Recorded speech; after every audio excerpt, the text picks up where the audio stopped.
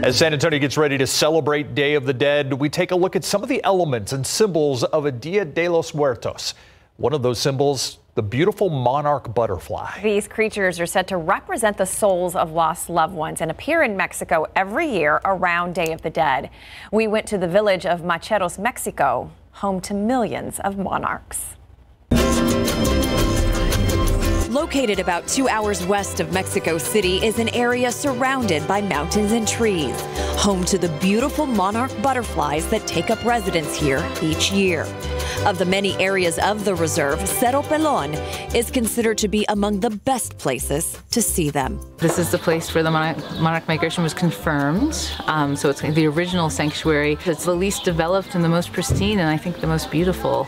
Ellen Sharp and her husband Joel run a B&B in the village of Macheros at the entrance of Cerro Pelon.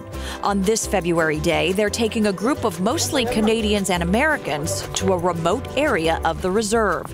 In fact, the best way to access it is on horseback. The closer we get to the top of the mountain, the more and more butterflies you begin to see. And the best way I can describe it is like snow. The butterflies are just coming out of the sky from every direction, and it truly is a sight to behold. Monarchs, which are said to represent the souls of the deceased, migrate from Canada. Their arrival at this specific spot, beginning every Day of the Dead, said to be a bit of a mystery. Why did the butterflies come here? Uh, well, nobody knows, I think. Um, but I think they're trying to escape the winter in the United States and Canada, so that's why they come here. For those who have traveled here from other countries, seeing them in person is an unforgettable experience. Yeah, it's one of the sort of wonders of the world. You know, there's the so called whatever, seven wonders of the world.